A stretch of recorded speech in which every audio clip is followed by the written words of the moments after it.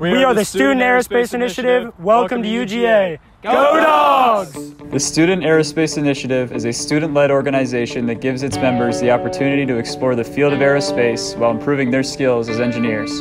After becoming national finalists in last year's Alka Rocket Challenge, we've rebuilt our design from the ground up to reach even higher heights and take home the world record at this year's competition. Team members were split into three different groups and tasked with improving a unique aspect of the rocket.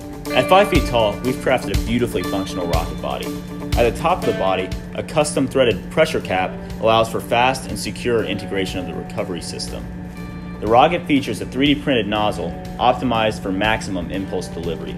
The entire assembly is held together by custom molded carbon fiber, increasing pressure containment with minimal increase in weight. The launch systems and R&D team have completely redesigned every aspect of their build, including the launch pad, the clamping mechanism, and the reaction chamber.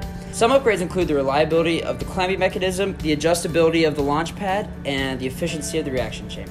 For the recovery system, we've moved from a barometric pressure sensor to an accelerometer-based system. To trigger the system, an Arduino reads gyroscopic data from the accelerometer, and when the rocket tips past the XC plane, it sends a signal to the servo.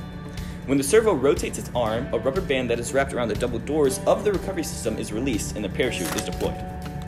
In case of an anomaly, we have installed a timer, failsafe, to trigger the system after 10 seconds. When we're ready to launch, we fill the reaction chamber with crushed Alka-Seltzer and water.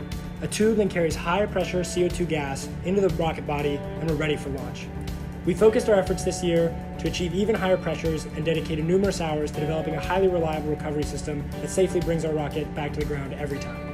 We're extremely excited to be competing for the second year in the Alka Rocket Challenge, and we believe we have what it takes to beat the world record this year.